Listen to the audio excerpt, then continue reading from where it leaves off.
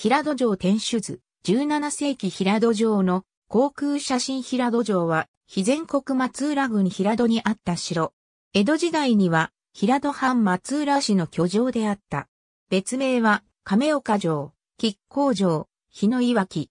平戸島の北部、平戸市街の東部に位置する。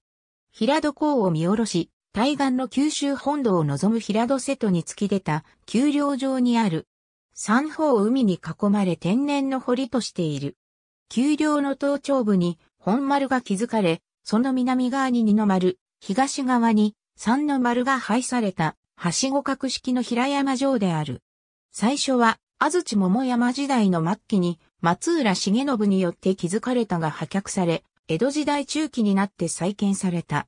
再建にあたっては、山賀祖公の軍楽に沿って縄張りがなされたという。平山城では唯一の山賀流による城郭である。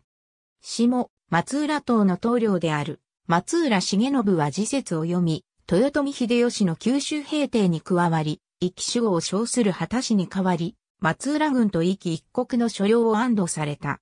松浦島で最大の大名となったことにより、以降は松浦姓を名乗ったとされる。文読、慶長の役の後、慶長4年に現在の上地である日の角に最初の築城を開始した。慶長5年の関ヶ原の戦いの頃、徳川家康からの権利を晴らすため、城の一部を破却したと伝わる。完成も間近となった慶長18年、火災により大半を消失した。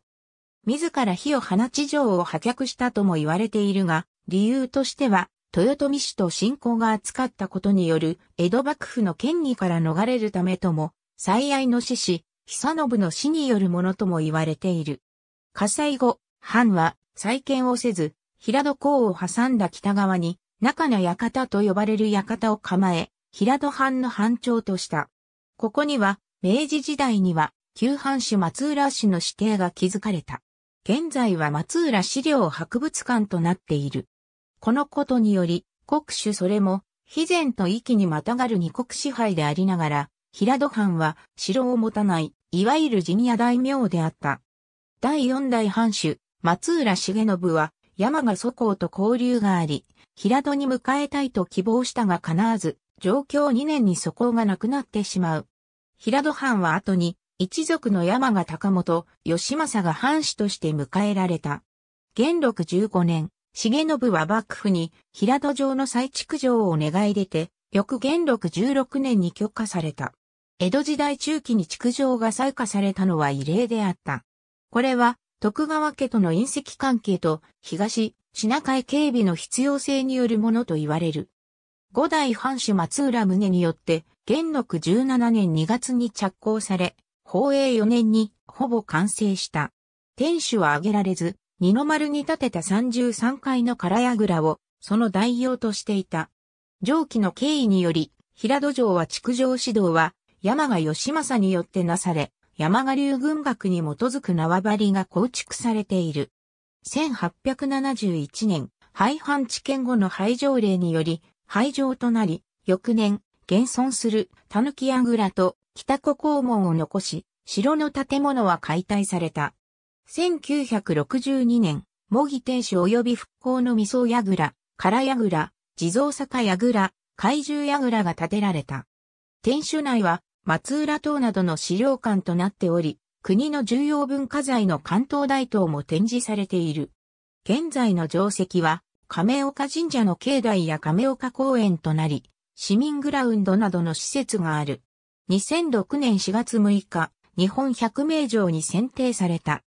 2019年、平戸市と日本航空、民泊会社、百戦錬磨グループの結社、建築設計事務所のアトリエ、天光人からなる共同企業体が平戸城怪獣櫓を改修し、宿泊施設として運営を行う事業協定を結んだ。令和3年4月1日から1日一組限定で宿泊が可能。現存の狸櫓には次の伝説が残っている。櫓の床下に狸が住み出した。天保初年、櫓の修理のため床板をすべて剥ぎ取った。するとある夜、故障に化けた狸が藩主の新女にやってきて、我ら一族を櫓に住ませていただきたい。そうすれば、城を永代守護すると嘆願したので、翌日、床を元通りに戻してやったという。これ以後、この櫓は、狸櫓と呼ばれるようになった。天守跡から、平戸港が展望でき、遠く平戸大橋が見える。松浦資料博物館は、平戸港を挟み対岸にある。松浦郡は明治に分割され、平戸は北松浦郡に属す。ウェブ版、赤工場跡2の丸門増型発掘調査現地、説明会資料。赤工市教育委員会。2020年1月27日閲覧。城に泊まって、殿様、気分、長崎、愛媛で来年から日経産業新聞2019年7月19日。平戸市、JAL などと平戸城を宿泊施設化、2020年夏に開業予定。新、公民連携最前線 PPP 街づくり。2020年2月21日閲覧。1日一組限定。日本百名城発の常設城泊施設、平戸城、キャッスルステイ怪獣櫓4月1日オープン桃山。江戸時代の美意識を現代に伝える空間を特別上司として堪能。ありがとうございます。